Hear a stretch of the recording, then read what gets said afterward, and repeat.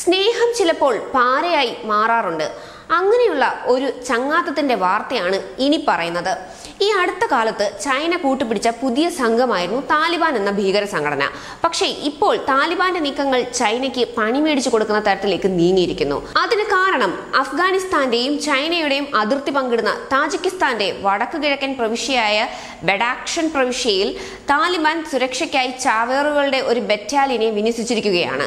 വിന്യസിക്കുക മാത്രമല്ല ഇത്തരം ബറ്റാലിയനുകളാണ് ചാവേർ ആക്രമണം നടത്തി അമേരിക്കയെ ഓടിച്ചതെന്ന കാര്യവും പറയുന്നുണ്ട്. ലക്ഷറി മൻസൂരി എന്നാണ് ഈ ബറ്റാലിയന്റെ പേര്. ഈ ചാവേറുകൾ സ്ഫോടക വസ്തുക്കൾ അടങ്ങിയ വസ്ത്രം ധരിച്ച് എതിർത്താവളങ്ങളിൽ പൊട്ടിത്തെറിക്കുകയാണ് രീതി. താജിക്കിസ്ഥാനുമായി ശത്രുതയിലുള്ള താലിബാൻ ഇവിടെ എന്തെങ്കിലും തരത്തിൽ അക്രമം അഴിച്ചുവിട്ടാൽ സ്വാഭാവികമായും താജിക്കിസ്ഥാന്റെ രക്ഷയ്ക്കെത്തുക റഷ്യയാകും. അത് താജിക്കിസ്ഥാനുമായി അതിർത്തി പങ്കിടുന്ന ചൈനയ്ക്കും പ്രശ്നമായി തീരും. താജിക്കിസ്ഥാൻ എല്ലാവിധ പിന്തുണയും നൽകുന്ന രണ്ട് രാജ്യങ്ങളാണ് ഇന്ത്യയും ഇറാനും. താജിക്കിസ്ഥാനെ തൊട്ടാൽ കളി മാറുമെന്ന് ഇറാനും ഇന്ത്യയും റഷ്യയും നേരത്തെ മുന്നറിയിപ്പ് നൽകിയിരുന്നതാണ്. തങ്ങളുടെ അതിർത്തി സംരക്ഷിക്കുന്ന കൂട്ടത്തിൽ ചൈനയുടെ കൂടെ അതിർത്തി സംരക്ഷിച്ചേക്കാം എന്നുള്ള നീക്കത്തിൽ ചിലപ്പോൾ വെളിവും വെള്ളിയാഴ്ചയും ഇല്ലാത്ത താലിബാൻ ഭീകരർ എന്തെങ്കിലുമൊക്കെ കാട്ടിക്കൂട്ടിയാൽ അതിന്റെ ഫലം അനുഭവിക്കുക ചൈന കൂടിയായിരിക്കും.